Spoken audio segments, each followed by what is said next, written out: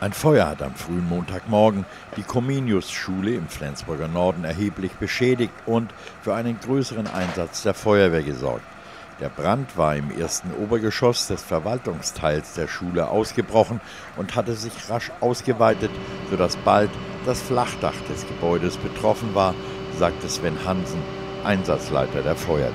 Ja, in der Comenius-Schule in Flensburg brannte um 4.30 Uhr das Rektorat.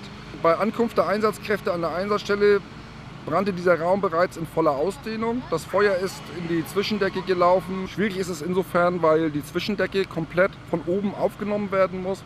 Das heißt, die Einsatzkräfte sind damit beschäftigt, die gesamte Dachhaut von oben zu entfernen. Die Klassenräume sind durch den Rauch beeinträchtigt worden. Äh, in der gesamten Schule fällt heute der Unterricht aus. Zur Brandursache gibt es zur Stunde noch keine Angaben, jedoch deutet offenbar vieles auf einen Einbruch mit anschließender Brandstiftung hin, da an vielen Stellen des Gebäudes Fenster zerstört und auch geöffnet waren. Noch am Brandort nahm die Polizei erste Ermittlungen auf.